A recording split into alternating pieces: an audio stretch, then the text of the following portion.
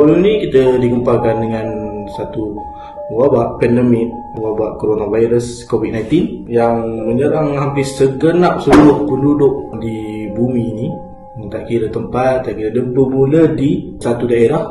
Nama daerah Wuhan di China. Dan sekarang telah merebak ke seluruh dunia termasuk di negara kita ini. Okey, tapi bila kita sebut sebagai pandemik, pandemik COVID-19 tapi kita tahu uh, pandemik itu apa?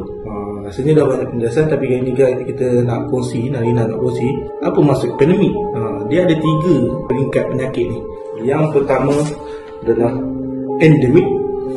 Pertama endemik. Kedua epidemik. Dan ketiga adalah pandemik. Okey, kita terang sikit. Apa itu endemik? Okey, endemik ini adalah penyakit atau wabak yang bersifat setempat. Contohnya adalah dengue.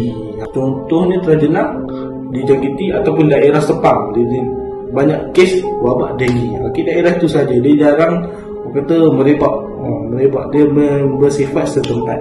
Okey yang kedua adalah epidemik iaitu dia bersifat setempat tapi dia secara mendadak. Ah dia meningkat secara mendadak. Contohnya yang berlaku di Wuhan. Ah, penyakit COVID-19 pada awalnya sekadar dua orang. Lepas tu dia bertambah empat dia naik secara eksponensial ah, secara macam kalau graf dia secara pum terus. Ah, dia secara naik.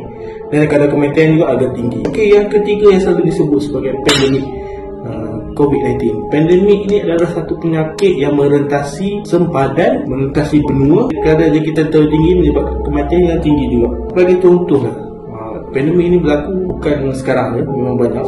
Contohnya pada kurun ke-14 ke-15, kurun ke-14 hingga ke-17 iaitu Black Death di Eropah menyebabkan ramai yang mati di sana berjutaan yang mati. Spanish flu pada 1918 di daerah Eropah dan sekarang ni COVID-19 yang kalau pada waktu yang buat video ni lebih daripada seribu orang yang dijangkiti dan lebih hampir seratus ribu orang yang telah meninggal.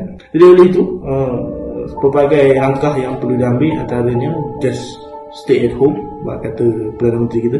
Duduklah diam-diam di rumah. Just stay at home. Jika perlu keluar jaga social distancing dan juga jika ada batuk-batuk mengamalkan teknik batuk yang macam dead tu.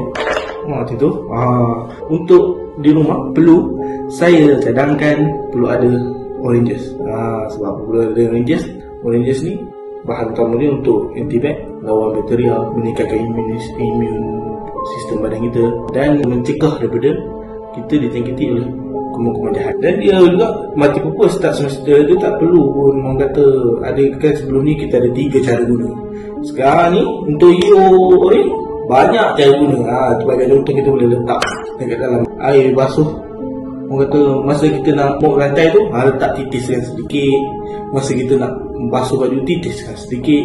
Masa kita nak Ah, kalau ada luka letak dekat uh, luka pun boleh sebagai antiseptik dan memang yang untuk orange memang mati pupus bahan yang ada dalam tu memang khas untuk melawan bakteria. Okey, itu saja.